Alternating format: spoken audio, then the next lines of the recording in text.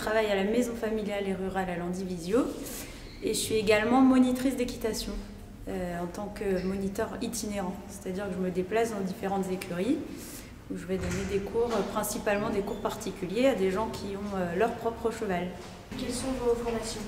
J'ai un bac littéraire, un doc de lettres modernes, une maîtrise de management sportif des établissements sportifs et spécialisé dans l'équitation et un brevet d'état d'éducateur sportif.